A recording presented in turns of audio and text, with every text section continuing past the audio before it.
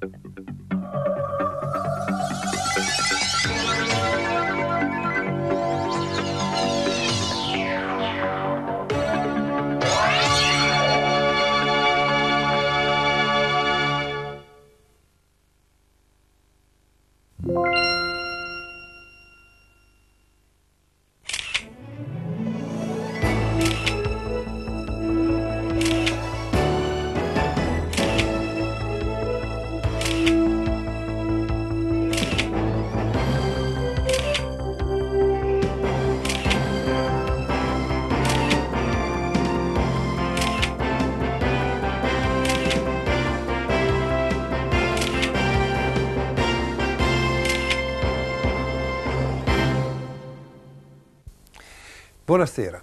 La volpe nelle favole di Esopo è rappresentata sempre come un animale astuto che riesce a turlupinare il prossimo, spesso anche con un po' di cinismo, e che rimane vittima a volte dei suoi stessi inganni. Ma lo sappiamo, Esopo, Fedro e tanti altri hanno voluto trasferire negli animali i vizi e le virtù degli uomini. Bene, oggi ancora molti epiteti di animali vogliono proprio esprimere certe qualità o certi difetti. Si dice per esempio pauroso come un coniglio, oppure ignorante come un somaro, eh, coraggioso come un leone, oppure astuto appunto come una volpe. Per non parlare di falchi e colombe che sono molto d'attualità, o di pappagalli e civette. Ovviamente nella realtà le cose vanno diversamente, ma certamente è vero che la volpe è un animale intelligente, molto adattabile, capace di sfruttare nuove opportunità. Bene, il documentario che vedremo tra poco le è dedicato ed è stato girato nel nord del Giappone, nell'Hokkaido. L'Hokkaido è una regione fredda, non lontana dall'Artico, dalla Siberia.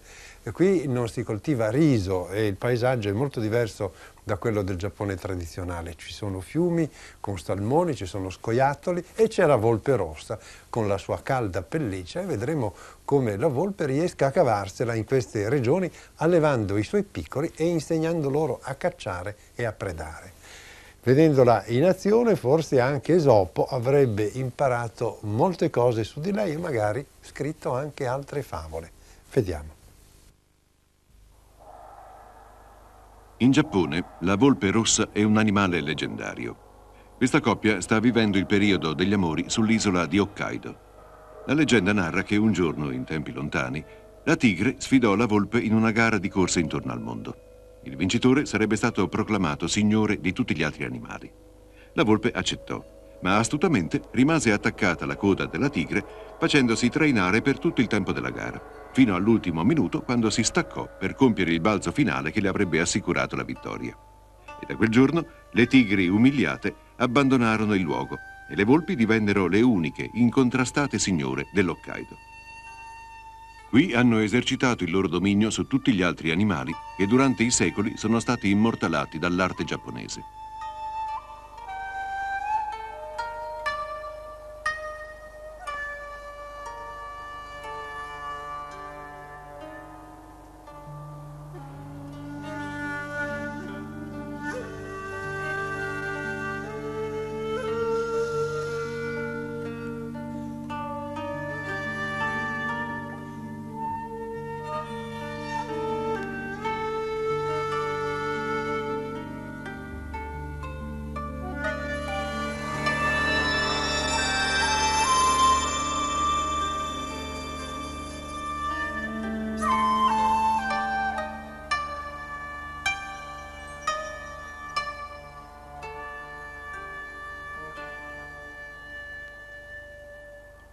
Ma non si può certo dire che la vita per le volpi di Hokkaido sia facile.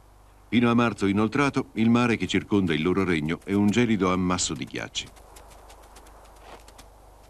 Eccone una che si imbatte in una foca morta. Sebbene la sua carne sia congelata e quindi di difficile masticazione, la foca costituisce pur sempre una provvidenziale riserva di cibo che potrebbe durare per settimane. Ma anche altri animali l'hanno avvistata. Questa cornacchia nera e quest'aquila di mare che compare all'orizzonte.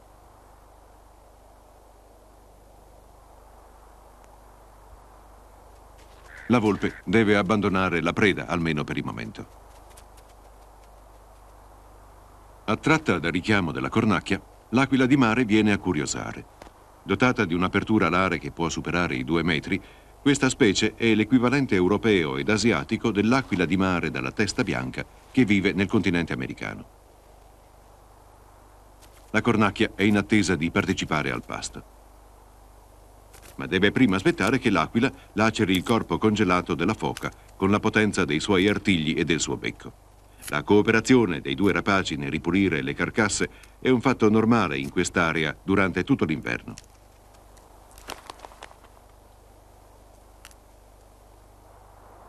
Per quattro mesi all'anno, Hokkaido è ricoperta dalla neve e dai ghiacci.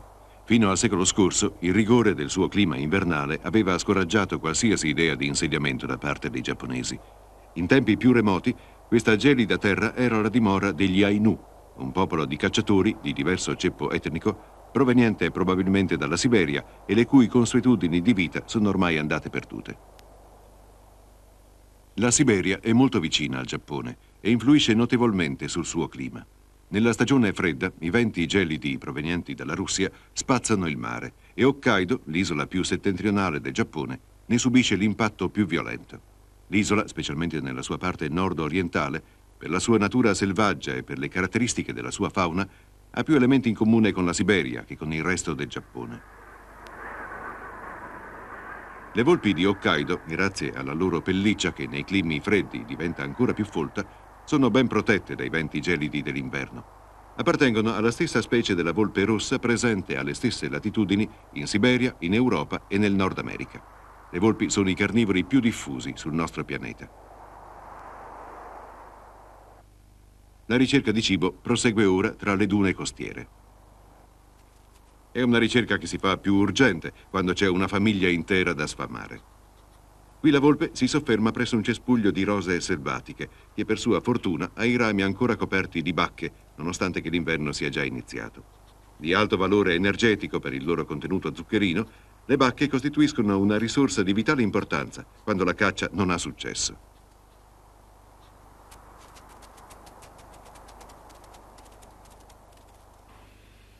Oltre le dune, la ferrovia corre lungo un'ampia e piatta vallata, in un paesaggio composto di fattorie, campi e siepi frangivento che ricorda sorprendentemente l'Europa.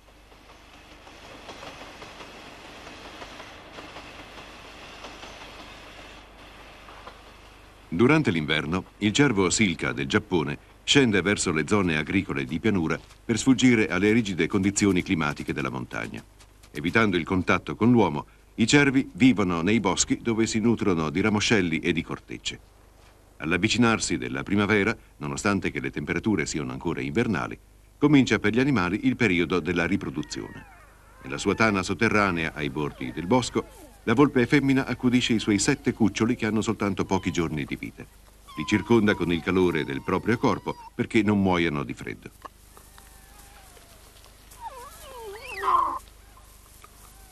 Nelle prime due settimane di vita, i cuccioli sono ancora ciechi e così piccoli e indifesi da necessitare di un'attenzione continua da parte della madre.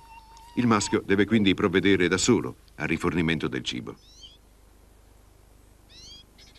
Il fatto di avere una famiglia intera da nutrire obbliga il maschio a percorrere ogni giorno grandi distanze in cerca di prede.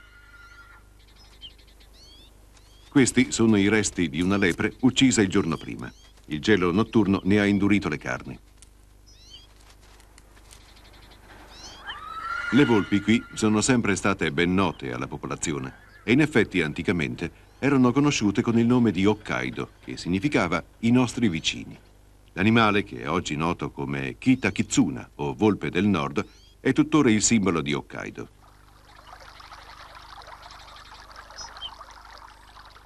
Anche in acque vicine al punto di congelamento la vita germoglia. Le uova di salmone stanno schiudendosi. È l'inizio di una storia straordinaria. Subito dopo la schiusa, questi pesci superano di poco i due centimetri e sono ancora congiunti a un enorme sacco vitellino da cui derivano il nutrimento per una rapida crescita. Un paio di settimane più tardi sono già lunghi più del doppio. Il sacco vitellino si è molto ridotto e incominciano ad allontanarsi in fittissimi banchi dal fondale natio cosparso di ciottoli. A differenza della maggior parte dei fiumi locali, questi torrenti impetuosi non gelano. Attirano quindi l'attenzione di questa specie di martin pescatore dal dorso variegato.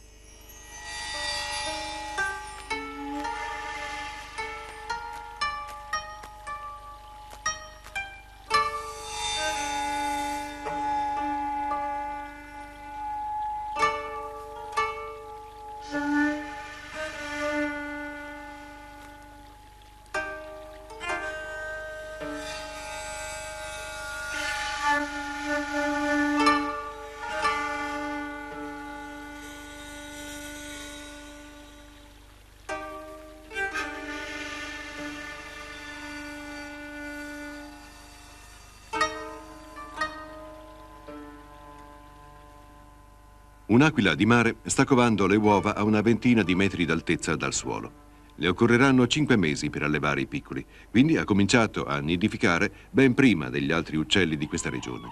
Per altre specie, infatti, il periodo del corteggiamento è appena iniziato. I giapponesi ammirano molto le gru della Manciuria, che possono vivere per più di 50 anni e rimangono fedeli per tutta la vita a un unico compagno. Per questo sono un simbolo di longevità e di un rapporto sincero e fedele e vengono chiamate gli uccelli della felicità. Vivono solo in questa parte del Giappone e all'inizio della primavera si radunano per dar luogo a uno spettacolo straordinario.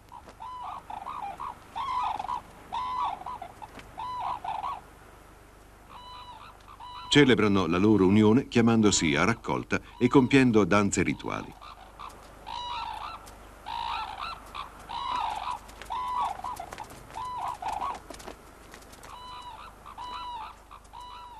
Solitamente sono le coppie di adulti a danzare insieme, ma talvolta anche gli individui giovani che non hanno ancora un compagno si lasciano coinvolgere nel clima di eccitazione.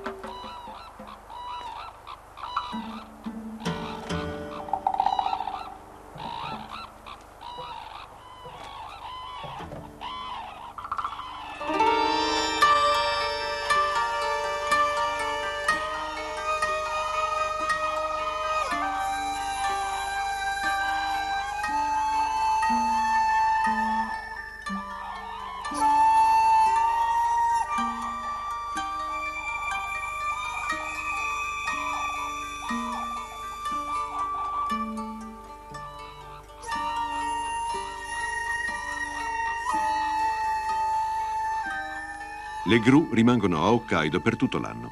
Sono gli unici residenti di origini tipicamente asiatiche in un'isola che accoglie un numero sorprendente di animali europei. Uno scoiattolo rosso scorge un altro maschio che è sconfinato nel suo territorio.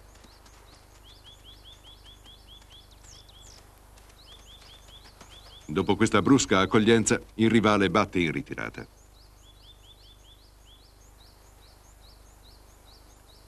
Sgomberato il campo, il vincitore ritorna a corteggiare la sua compagna, che è però totalmente assorta in altre faccende. Lei è più interessata al cibo che al corteggiamento e glielo fa chiaramente capire.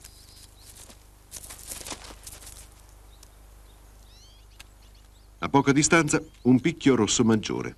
Come per lo scoiattolo rosso, la sua presenza in questa regione è un indizio degli stretti legami di Hokkaido con la Siberia e l'Europa.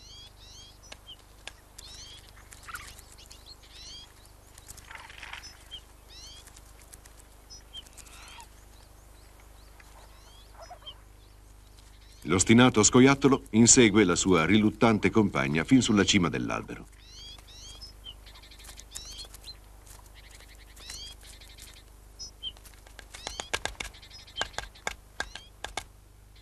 Il picchio rosso maggiore ha scoperto la larva di un coleottero e scava con precisione un buco per poterla raggiungere.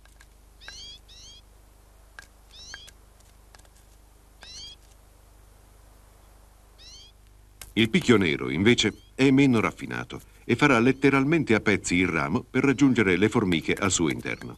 È un'altra delle specie europee che sono presenti soltanto in questa regione del Giappone.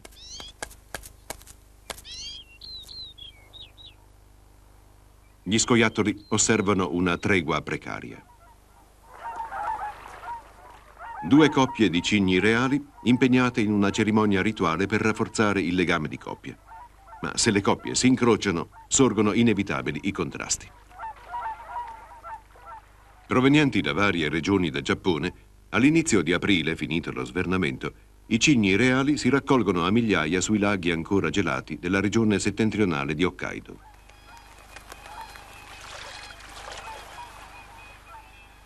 Noti in Giappone con il nome di Oakucho, che significa grandi uccelli bianchi, essi preannunciano l'arrivo del disgelo primaverile. Proseguiranno la loro migrazione verso nord, nelle regioni della Siberia, dove nidificheranno. Mantenere il piumaggio in buone condizioni è di importanza vitale per sopravvivere al lungo volo che li attende. I venti di aprile che spirano dal sud riscaldano l'atmosfera allentando la morsa del gelo invernale sul territorio.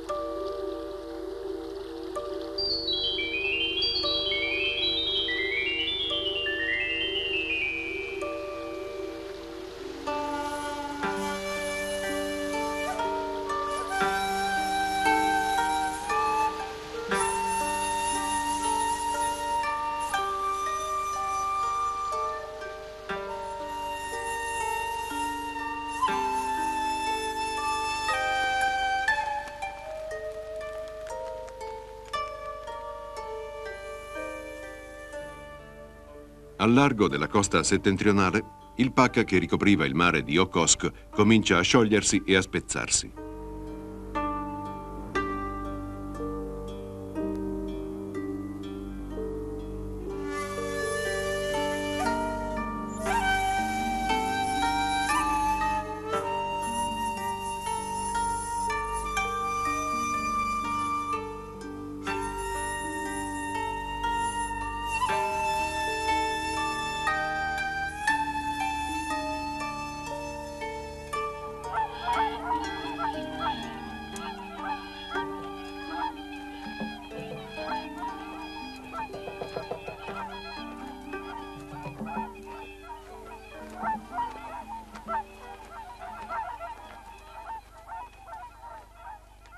I cigni riprendono il volo, seguendo la linea del disgelo verso nord. Li attende un viaggio di oltre 3.000 km, fino alle terre artiche, dove si riprodurranno. Grandi stormi sorvolano la costa di Hokkaido, diretti verso la Siberia. Sulla terra che lasciano alle loro spalle, la neve si sta rapidamente sciogliendo. Una linea di dune separa la costa da un entroterra pianeggiante, dove il terreno è stato disboscato. Questa zona, che si estende per circa 4.000 km quadrati su entrambi i lati della ferrovia, è il territorio della nostra volpe.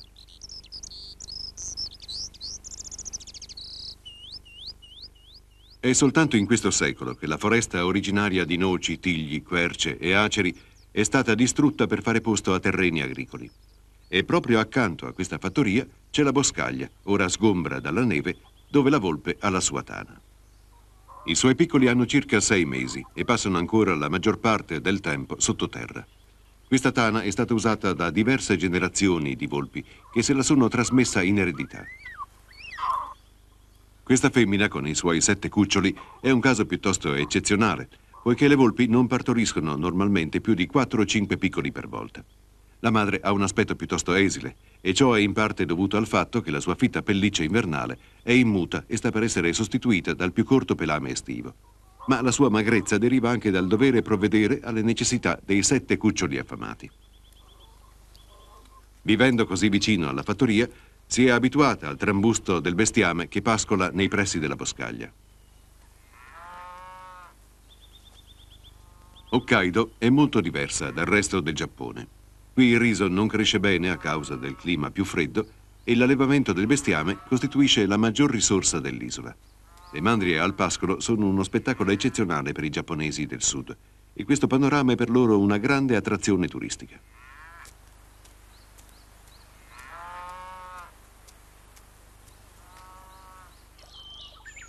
Sulla sponda del ruscello sboccia uno dei primi fiori di primavera, una specie di arum selvatico chiamato mizzobascio. Nel corso d'acqua, i giovani salmoni, nutrendosi di piccoli insetti, hanno ormai raggiunto i 7-8 cm di lunghezza, ma la loro esperienza è ancora scarsa e il pericolo è in agguato ovunque. Ci sono degli ottimi motivi per essere preoccupati. La trota, infatti, pur essendo uno dei parenti più stretti del salmone, è un nemico particolarmente temibile.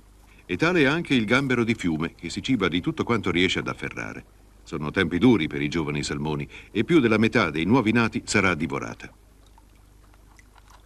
Ma il pericolo non giace soltanto sott'acqua. Ecco un altro probabile predatore in attesa. Si tratta di una ballerina bianca. Intanto, nella boscaglia, la volpe maschio, impegnata nella ricerca di cibo per la famiglia, non lascia scampo a un germano reale ferito. Dal ramo di un albero, una calliope, visitatrice estiva di Hokkaido, osserva la scena.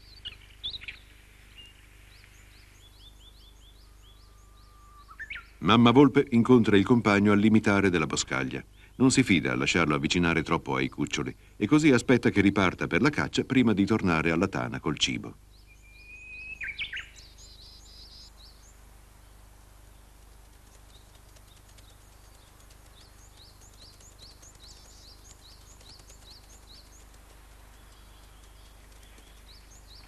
La madre non fa alcun tentativo di spartire il cibo tra i cuccioli. Devono guadagnarselo lottando tra loro.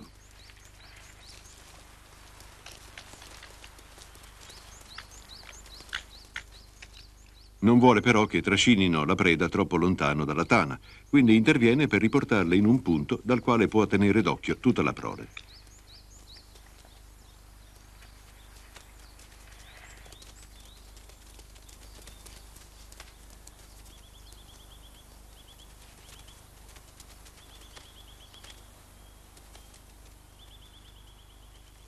Tra i cuccioli si sta formando una specie di gerarchia.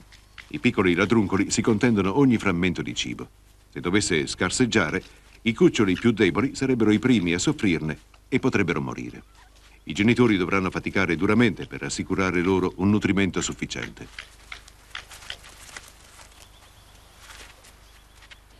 Ora che sono nati anche i pulcini dell'aquila di mare, ci sono altri genitori impegnati nella ricerca del cibo.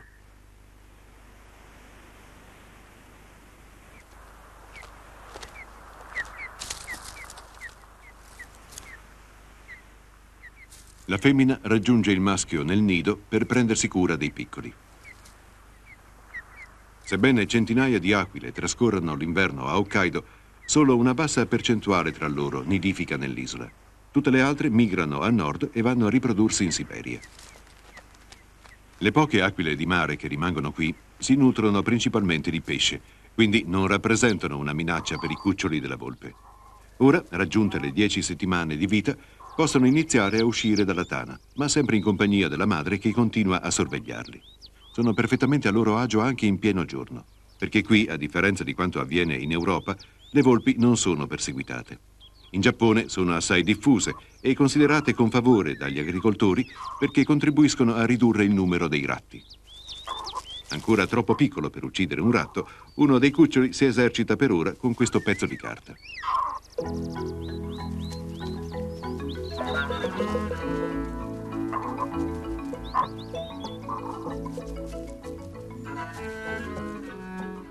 Per secoli la volpe ha avuto grande influenza sul folklore giapponese. Secondo un'antica credenza, le volpi sono dotate di poteri magici e ucciderle porterebbe sfortuna. Molte storie raccontano di come esse si divertono a giocare tiri mancini alla gente. In una di queste favole, una volpe si trasforma in un'affascinante fanciulla e con un sorriso ammagliatore incanta gli uomini, stregandone il cuore.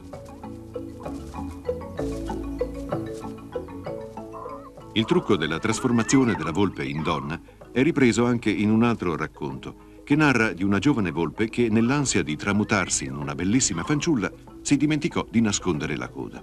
Avvenne quindi che al suo ingresso in città, anziché essere ammirata e desiderata, fu smascherata e derisa.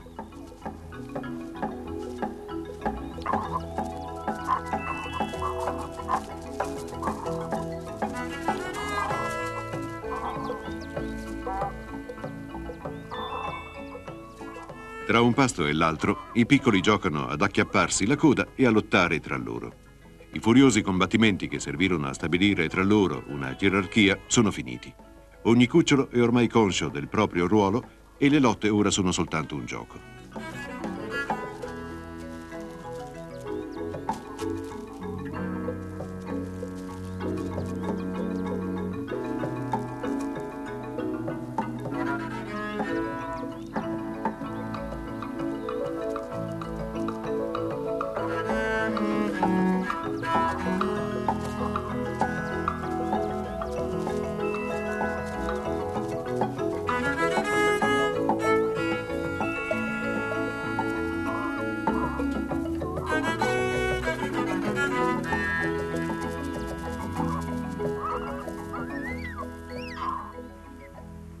I pulcini dell'aquila di mare non si divertono giocando, ma anche loro stanno crescendo in fretta. La madre li nutre regolarmente con sottili filetti di pesce.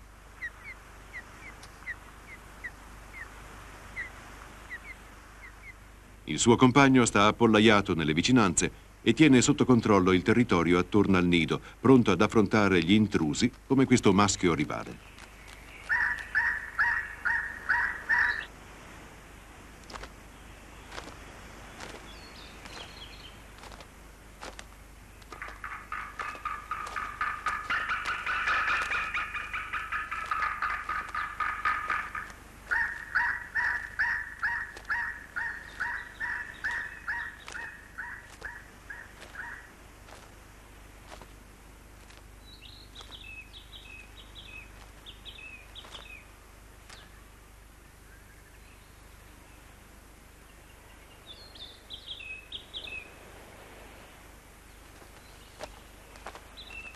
Nell'isola di Hokkaido scontri del genere sono rari perché le aquile che nidificano qui sono poche, ma più a nord, in Siberia, dove le coppie si riproducono a poca distanza l'una dall'altra, le battaglie sono più frequenti e talvolta così violente da mettere in pericolo le uova e i pulcini.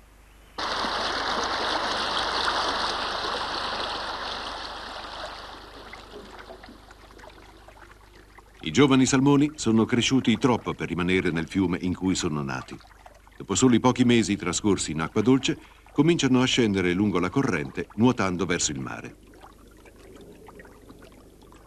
A poco a poco migrano tutti verso il Pacifico settentrionale, dove continueranno il grande viaggio della loro vita percorrendo in mare decine di migliaia di chilometri. Nell'attraversare i bassi fondali sabbiosi alla foce del fiume, i loro corpi cominciano a adattarsi alla vita oceanica. Il salmone è uno dei rari esempi di pesce in grado di vivere indifferentemente nell'acqua dolce e in quella salata. Finché non raggiungono acque più profonde, i giovani salmoni sono sotto la minaccia delle sterne. Dopo quattro anni, i pochi salmoni che sono sopravvissuti agli attacchi ripetuti dei predatori ritorneranno ai luoghi di origine. Questo è il mondo che le giovani volpi devono imparare a conoscere per potervi sopravvivere.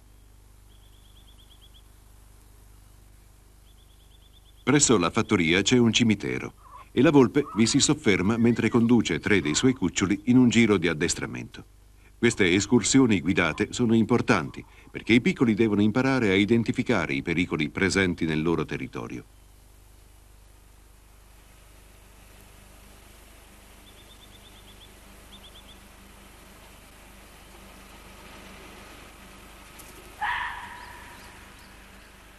La volpe richiama un cucciolo che, staccatosi dal gruppo, rischia di essere investito da un'auto.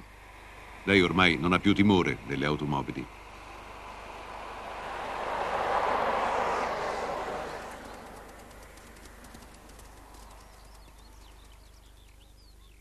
Ma oltre alle macchine ci sono dei bambini. Anche loro sono in gita di addestramento.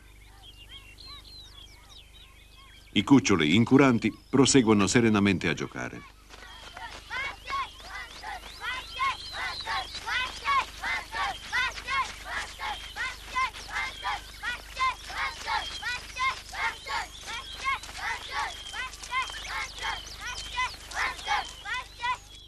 Nel frattempo, la volpe maschio conduce un altro piccolo in una escursione ai margini della boscaglia dove pascolano alcune mucche. Ma il cucciolo appare molto incerto sull'utilità dell'avventura e si rifiuta di proseguire. È intimorito dalla presenza delle mucche e nessun tentativo del padre riesce a fargli cambiare idea.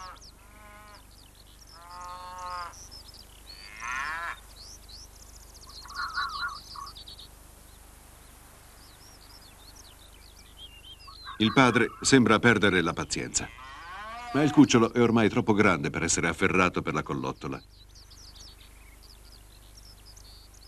Ignorando il richiamo paterno, corre felice a esplorare il margine del campo. Il padre si mette comunque in moto sperando che il piccolo lo segua. Ma si sbaglia di grosso.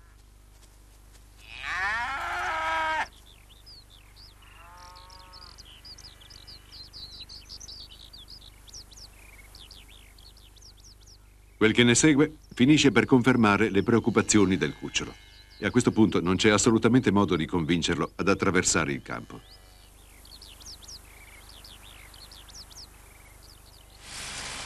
È luglio e l'estate è ormai inoltrata. Nei prossimi due mesi le temperature saliranno a 30 gradi e oltre.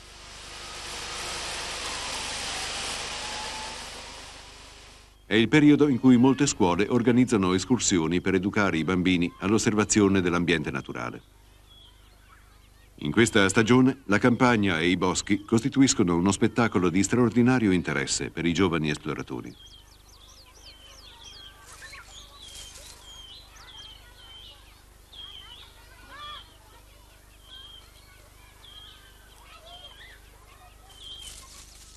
Anche questo cervo silca maschio trae vantaggio dalla vegetazione lussurreggiante dell'estate che lo ripaga degli stenti invernali.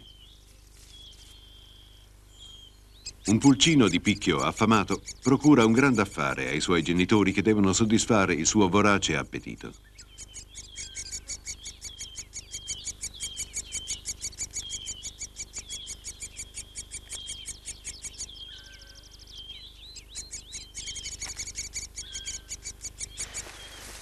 Tra non molto, i piccoli dell'aquila di mare lasceranno il nido e prenderanno a volare, ma per il cibo dipenderanno dai genitori per almeno altri sei mesi. La femmina di scoiattolo ha finito per cedere alle lusinghe del compagno e ne è nata una simpatica famigliola. Ecco due dei loro piccoli in esplorazione. Non essendo ancora provetti arrampicatori, i due appaiono spesso incerti sul da farsi. Un'altra specie di scoiattolo tipico dell'Hokkaido è il burunduk siberiano, che non è presente in nessun'altra regione del Giappone. Ha una predilezione per i fiori di trifoglio ricchi di nettare. La famiglia della volpe si è spostata dalla fattoria a questo campo di patate, a fianco della linea ferroviaria, dove trascorrerà il resto dell'estate. I cuccioli sono ora grandi abbastanza da poter essere lasciati a se stessi, ma quando la madre è nei dintorni, sovente partecipa ai loro giochi.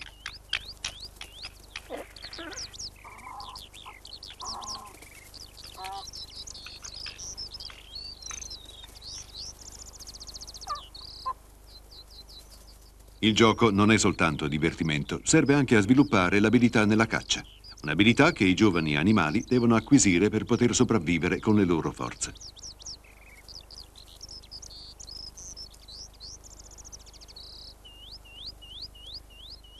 All'improvviso la femmina scorge il suo compagno che si avvicina e gli corre incontro.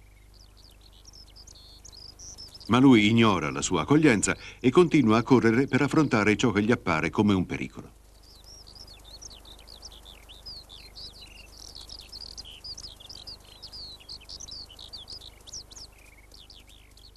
In realtà si tratta solo del nostro operatore. In Europa nessuna volpe sarebbe così ardita. Questo comportamento aggressivo è dovuto al fatto che, a differenza del resto della famiglia, il maschio non è abituato alla nostra presenza.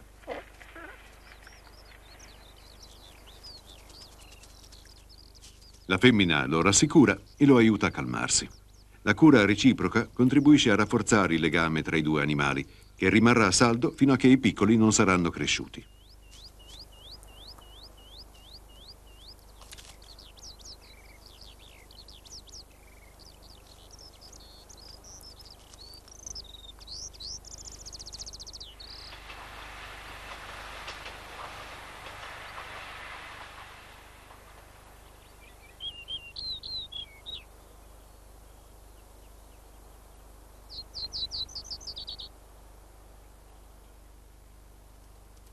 Quasi ogni sera il maschio torna con del cibo per i cuccioli e come al solito il pasto va ai più svelti e aggressivi.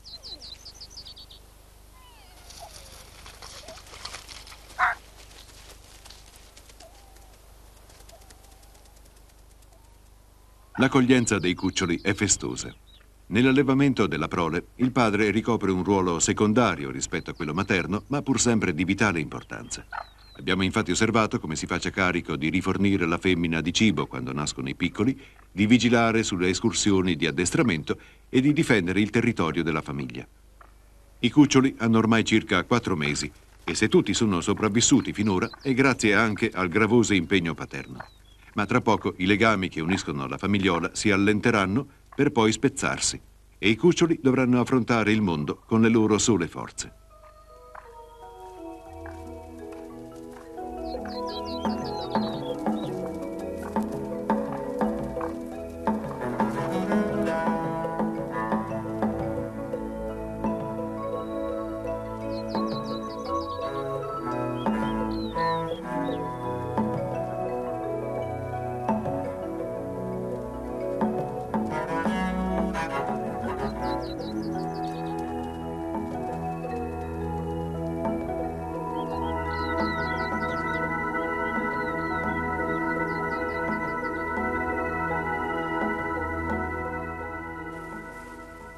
All'incirca nel periodo in cui le giovani volpi se ne vanno per la loro strada, i salmoni ritornano al loro luogo di origine, dopo quattro anni trascorsi nel Pacifico.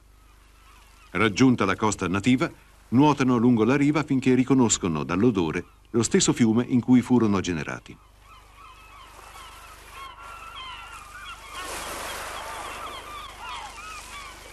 Ma come riescano a ritrovare la via del ritorno verso Hokkaido dopo aver vagato nei milioni di chilometri quadrati di oceano, è ancora un mistero. Una delle teorie che sono state formulate sostiene che si lasciano guidare dal campo magnetico terrestre.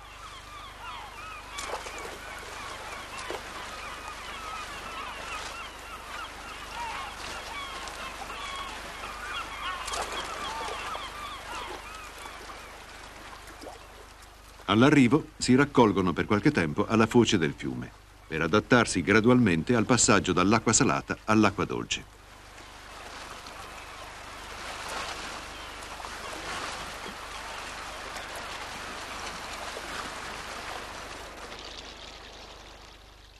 Non appena riprendono a risalire le acque del fiume, smettono di nutrirsi. Questo viaggio è senza ritorno e il loro destino è segnato. L'unico scopo della loro risalita è quello di deporre le uova e di fecondarle per poi morire. In passato la gente era all'oscuro del vero significato del ritorno del salmone e lo accoglieva come un evento gioioso. Per gli abitanti di questi villaggi isolati sulle rive del fiume, il salmone era di vitale importanza e si rivolgevano le loro preghiere al dio fiume. Noi non possiamo vivere senza di te, o fiume, quindi ti ringraziamo per i tuoi favori e ti supplichiamo perché quest'anno il salmone giunga abbondante nelle nostre acque. Oggi il salmone è scomparso da molti fiumi a causa della pesca indiscriminata. Solo recentemente si è posto sotto severo controllo l'uso delle reti. Questi pesci, il cui peso si aggira intorno ai 7 kg, riforniranno di uova i vivai locali, dove i salmoni vengono allevati allo scopo di ripopolare i fiumi. Ora la pesca è controllata e a una grande quantità di individui è consentito di proseguire la loro faticosa risalita controcorrente. I fiumi dell'Hokkaido sono lunghi soltanto pochi chilometri, perciò bastano pochi giorni perché i salmoni raggiungano le acque più a monte. Arrivata nella zona di deposizione delle uova, ogni femmina scava una fossa profonda sul fondo di ghiaia.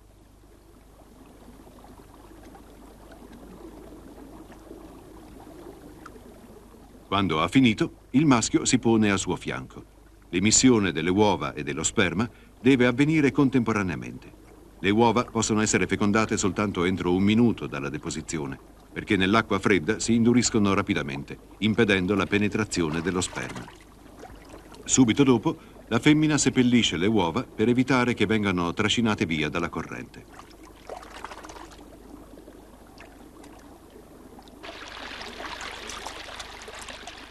Compiuto il loro dovere, i genitori sfiniti si lasciano morire.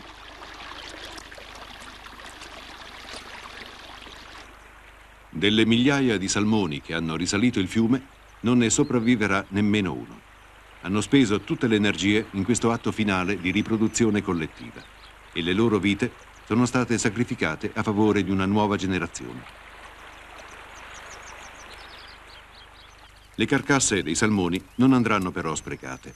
Esse costituiscono un ricco banchetto per i corvi dotati di un becco robusto.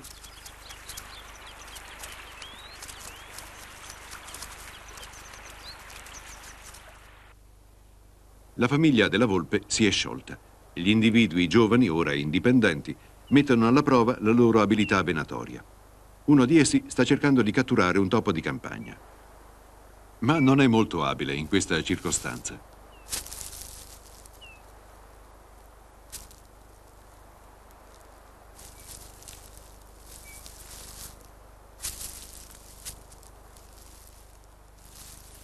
Non si aspettava un morso di reazione.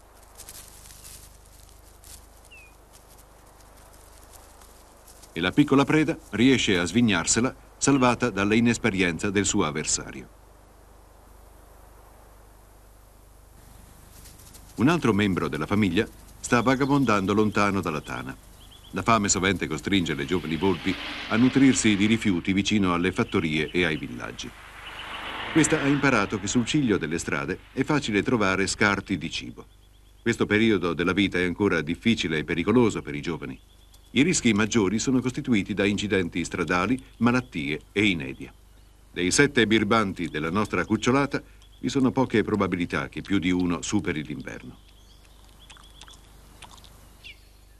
Questo giovane, ricco di risorse, nasconde il cibo in eccedenza in un ceppo fradicio. La conservazione del cibo è il sistema tipico adottato dalla volpe per assicurarsi contro i periodi di carestia. Ora fa molto più freddo. Piante e animali si apprestano ad affrontare l'inverno che è ormai prossimo.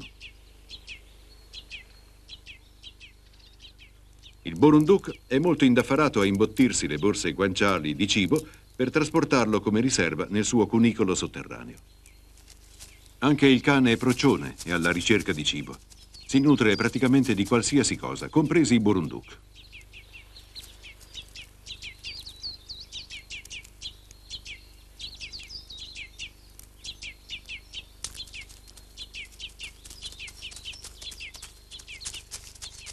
Ma il Borunduk è troppo veloce e in questo periodo il cane procione è grasso, avendo accumulato le riserve in previsione del lungo periodo di inattività che lo attende. È infatti il solo membro della famiglia dei canidi che va in letargo durante l'inverno. Alla fine di ottobre sulle montagne compare la prima neve, che poi rapidamente ricoprirà anche le pianure.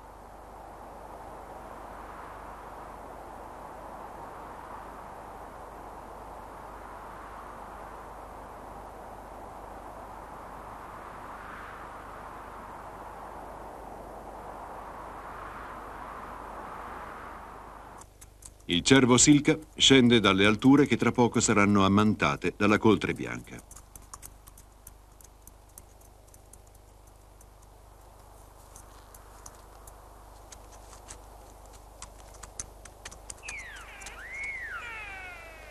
Il tipico fischio ripetuto rivela la presenza di un gruppo di cervi che passano nelle vicinanze. Le femmine e i loro cuccioli, ormai quasi completamente cresciuti, si mantengono a distanza. Durante l'inverno vivranno separate dai maschi.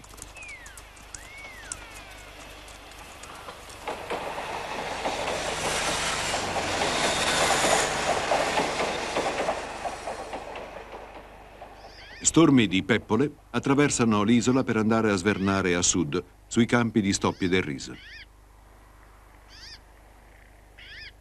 E in partenza con loro uno zigolo. Sono pochissimi gli uccelli che restano qui ad affrontare l'inverno. Fa troppo freddo e il cibo è scarso. Le popolazioni del resto del Giappone pensano a Hokkaido come al selvaggio nord. E infatti quando a novembre l'inverno si avvicina, la regione diventa brulla e desolata. La temperatura difficilmente sale al di sopra dello zero durante il giorno, mentre di notte può scendere fino a 25 sotto zero. È sorprendente rilevare come l'Hokkaido si trovi alla stessa latitudine della riviera Ligure e in quale misura la vicinanza della Siberia possa influenzarne il clima.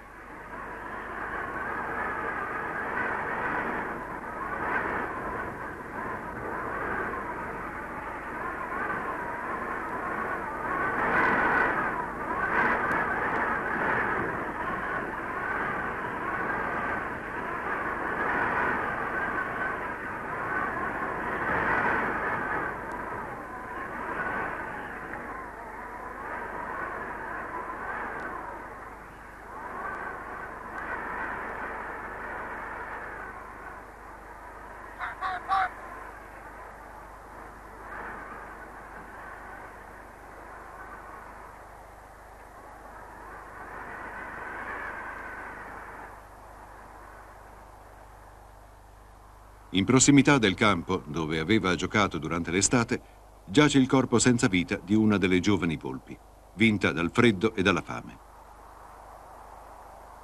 Questo giovane maschio, uno dei più forti della nostra cucciolata, sta facendo del suo meglio per sopravvivere e incomincia a stabilire il suo insediamento e a determinare l'estensione del suo territorio che arriva fino alla costa.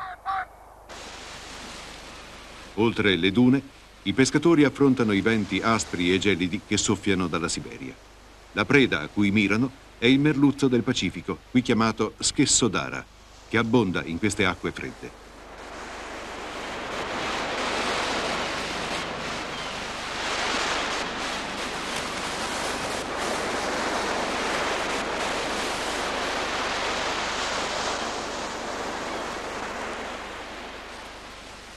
Speranzosa, la giovane volpe ispeziona la spiaggia.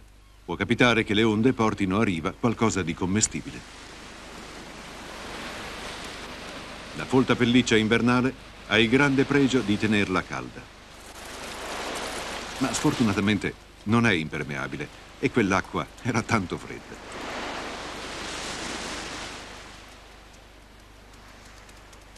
Verso Natale il freddo è intenso e con l'avanzare del PAC il mare si copre di ghiaccio.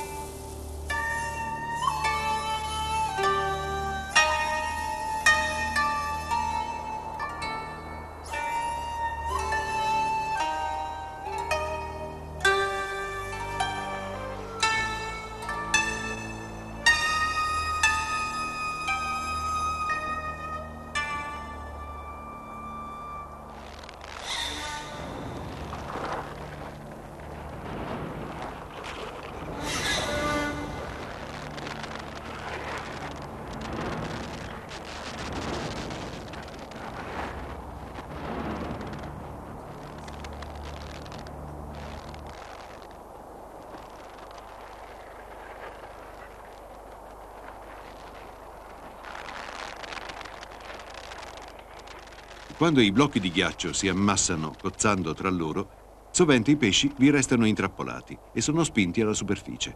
Così, per le giovani aquile di mare, questa distesa gelata diventa un buon territorio di caccia. Una grande aquila di Steller cerca di rubar loro il pesce.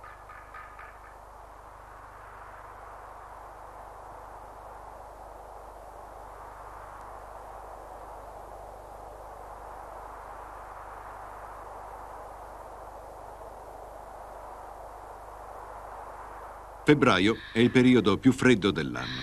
La semplice sopravvivenza costituisce già un'impresa abbastanza difficile, eppure l'attenzione di questo giovane maschio è rivolta ad altro.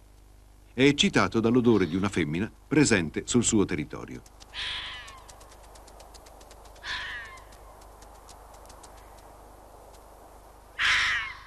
Marcando il territorio con l'urina, la femmina gli comunica che sta andando in calore. Sebbene vivano nello stesso territorio durante tutto l'inverno, Tra i due animali non esiste quasi alcun rapporto, almeno fino a questo momento, in cui si cercano l'un l'altro. La femmina scorge il maschio che sta seguendo la traccia del suo odore.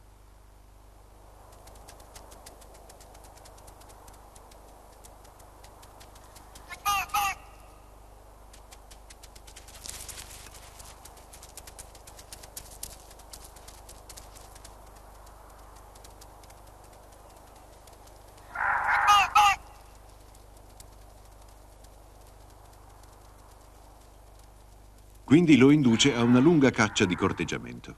Ogni tensione tra i due gradualmente scompare quando si abituano l'un l'altro.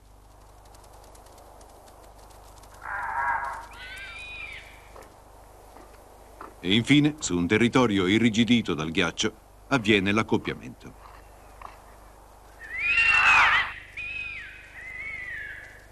Il cerimoniale dell'accoppiamento può durare anche più di un'ora. In questo modo la fecondazione della femmina è assicurata.